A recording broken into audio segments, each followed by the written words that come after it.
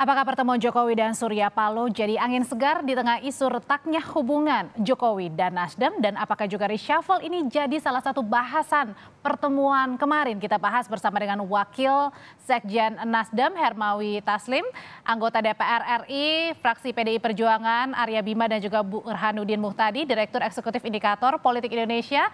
Selamat petang Bapak-Bapak, ada Pak Hermawi juga di studio. Selamat petang Pak Hermawi. Selamat siang, sore. Selamat petang juga saya mau mengucapkan kepada Pak Arya Bima dan uh, Pak Burhan. Ya. Selamat petang. Selamat petang. Selamat petang. Jadi saya mau, mau ke Nasdem dulu nih. Jadi kalau Anda bilang Pak Surya ini senyumnya sudah lebih sumringah, lebih lebar. Apa sih yang dibahas kemarin?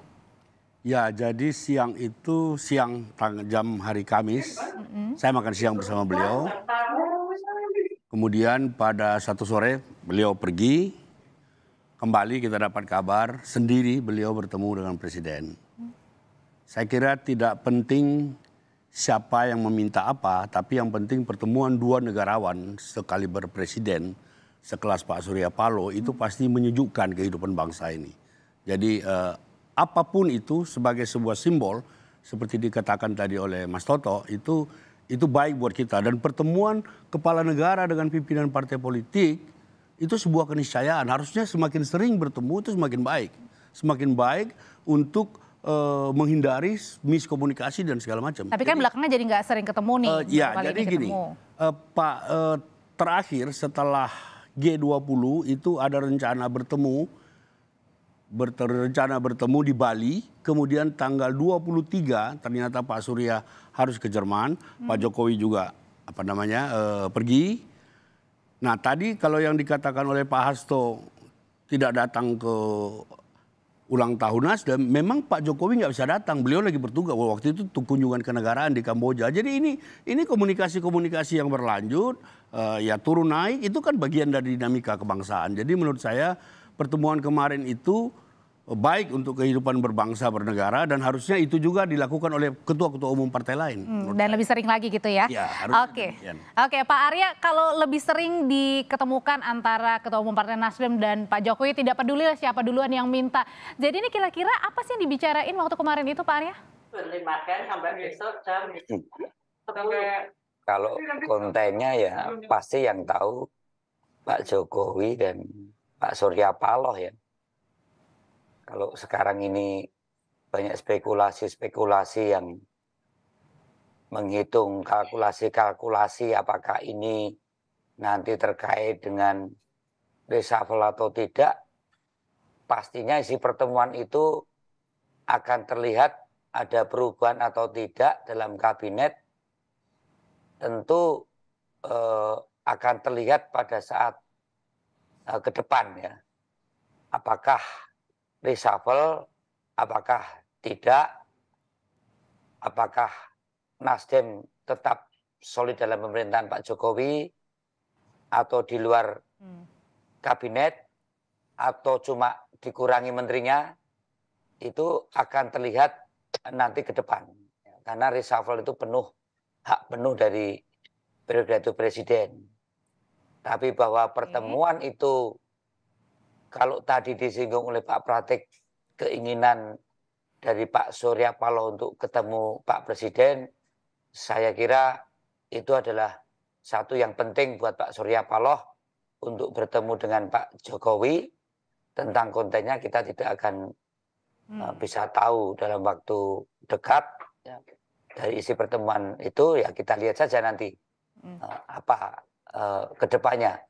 Tapi yang jelas adalah posisi politik uh, Nasdem dengan Pak Jokowi dalam pemerintahan uh, saat ini maupun ke depan. Saya kira itu.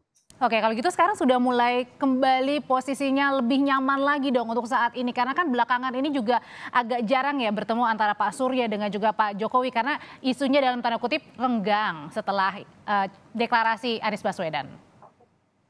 Baca ya riuh rendahnya panggung politik saat ini emang kemarin sempat terus saling mengkalkulasi sejauh mana uh, hubungan Pak Surya Paloh sebagai ketua Nasdem yang sudah punya sikap terhadap calon presiden ke depan tentu uh, banyak kalkulasi-kalkulasi di eh, panggung politik.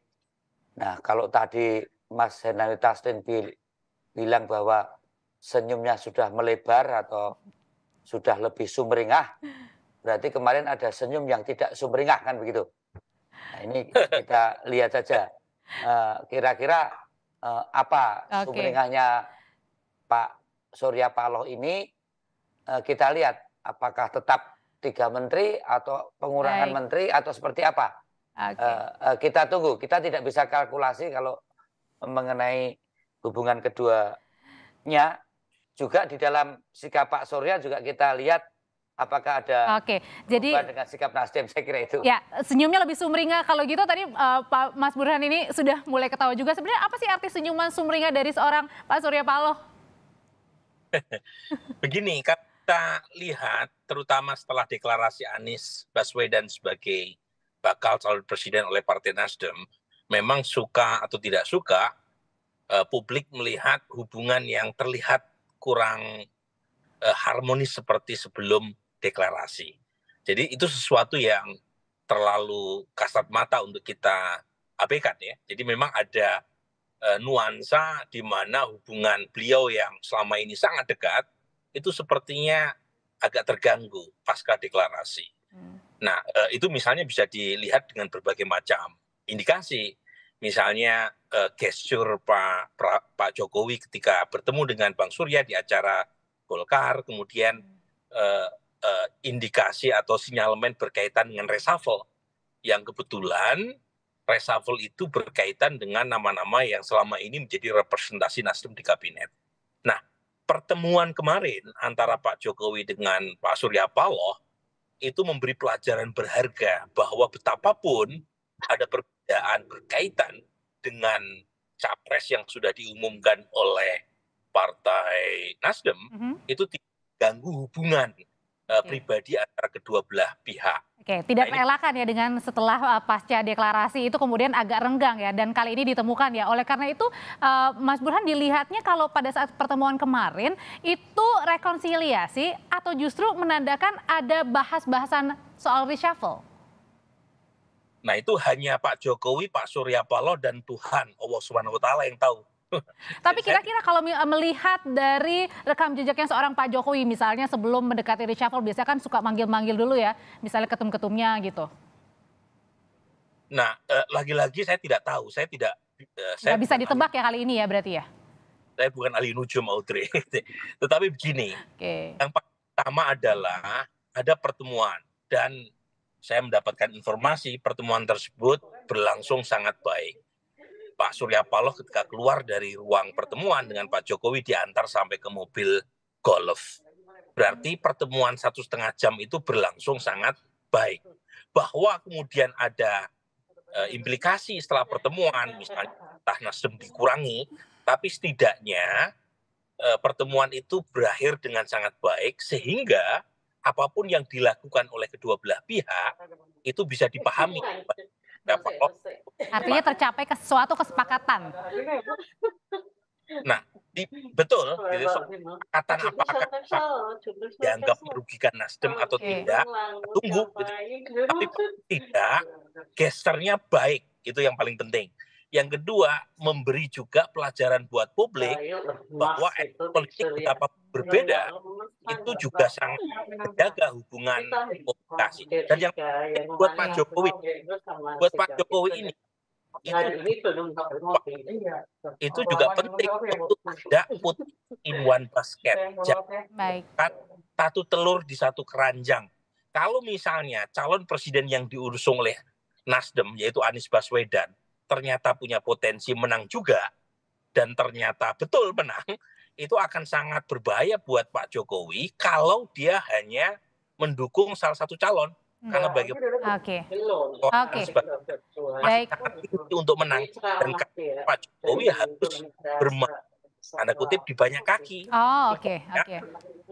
Jadi lanjutkan pun yang menang Baik. di 2024. Oke, uh, nanti usai jeda saya akan masih ada banyak pertanyaan untuk Pak Hermawi, ada Pak Arya dan juga Mas Burhan. Pertanyaan selanjutnya adalah jadi kalau di internal Nasdem setelah pertemuan kemarin ini sudah agak lebih lega nggak sih terkait dengan reshuffle? Dan yang pertanyaan berikutnya adalah bukan hanya pertemuan itu tapi juga di saat yang bersamaan juga ada pertemuan uh, Nasdem ke Sekber Gerindra dan PKB. Apa ini sinyalemennya? Usai jadi kami akan membahasnya. Tetaplah bersama kami di Kompas Petang.